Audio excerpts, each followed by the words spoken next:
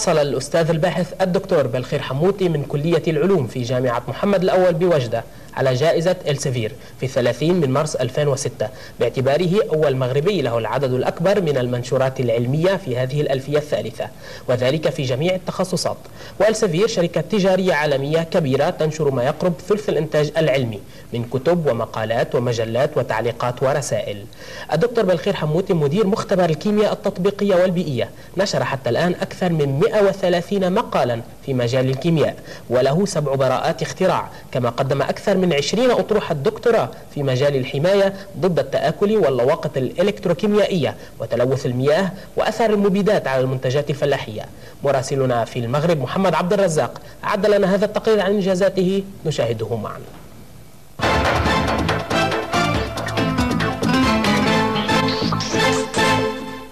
بسم الله الرحمن الرحيم.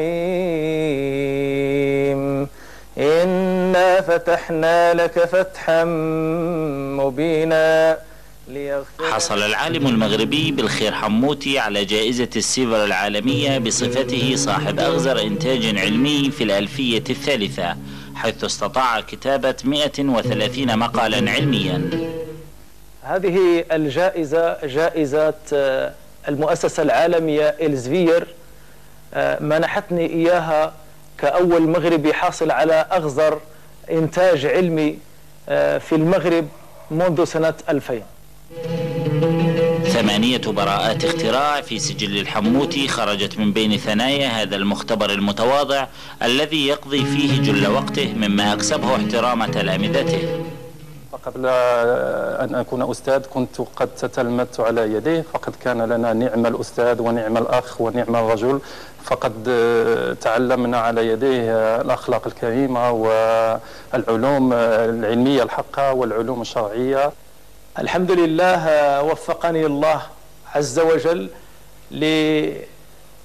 لتسجيل سبعة براءات اختراع في ميدان منع التآكل وذلك بإضافة موانع مواد عضوية إلى المحاليل التي تؤدي إلى التآكل والتي لها تأثير كبير جدا قد تصل إلى مئة بالمئة. يوم الجمعة له طعم خاص في حياة الحموتي فهو خطيب أحد مساجد مدينة وجدة وهناك يتفرغ الحموتي بعد صلاة الجمعة لأبحاثه في مجال الإعجاز العلمي في القرآن الكريم. عندنا أبحاث في ميدان الإعجاز العلمي. أولا علاقة سيدنا محمد صلى الله عليه وسلم رسول الرحمة بالماء والحياة. ثانيا علاقة البصر وحدوده بالنسبة للإنسان في هذه الحياة. آه، يكاد البرق يخطف أبصارهم مبحث ثالث وكذلك السمع وحدود الإنسان. رحلتنا مع الحموت انتهت ولكن رحلته مع العلم لم تنتهي. أمده الله جل في علاه بشيء من علمه ليخدم الإسلام والمسلمين.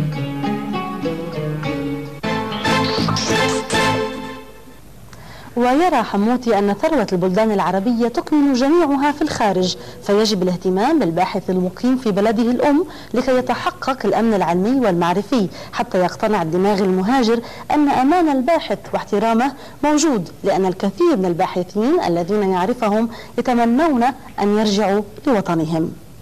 ولمزيد من إلقاء الضوء على الدكتور حموتي معنا مباشرة من المغرب الدكتور سكو قرطيط أستاذ الدكتور بالخير حموتي.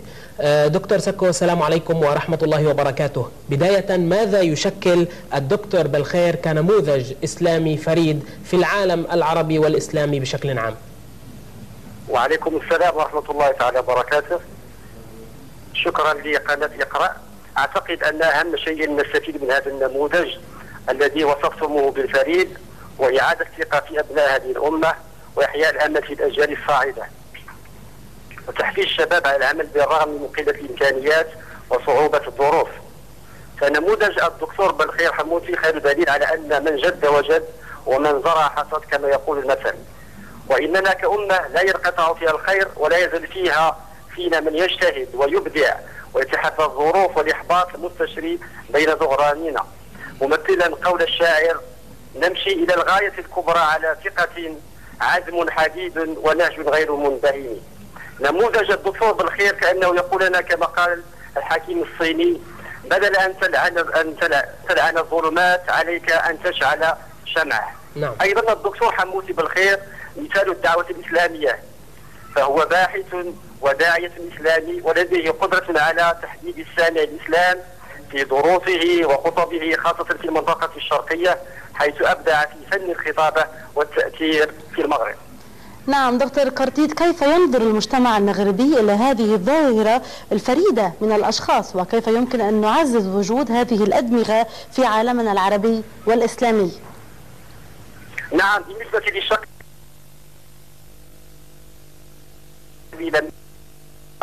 فأنا لا أستطيع أن أنوب عن المجتمع المغربي.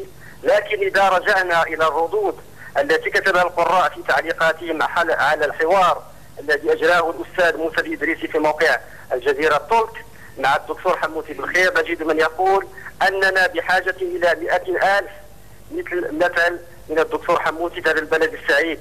وآخر يقول يطلب من الدكتور بالخير الترشح للانتخابات. ويقول آخر أن مثل هذا الرجل من نحتاج إليه في البرلمان وفي تسيير شؤوننا. لإيجاد الحلول المناسبة.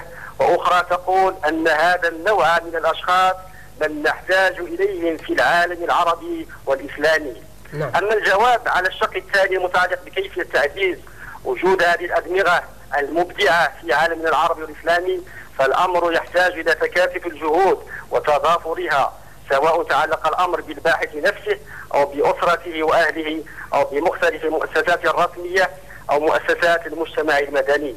واعتقد أن رصد أوقات خاصة خاصة بتمويل البحث العلمي والاعتناء بالنجباء والنوابغ والمبدعين والباحثين المتميزين أمثال الدكتور بالخير حموتي سيعطي نتائج إيجابية لأن المسؤولية تقع الجميع والاستفادة تعود ستعود بحول الله تعالى على الجميع. الدكتور سكو قطيط من المغرب العربي شكرا جزيلا لك أما الآن مشاهدينا الكرام فنبقى مع فاصل ثم نواصل الدنيا بخير.